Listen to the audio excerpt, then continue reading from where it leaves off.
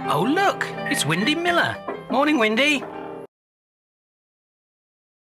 Ah, got the results of your Sexual health. test back.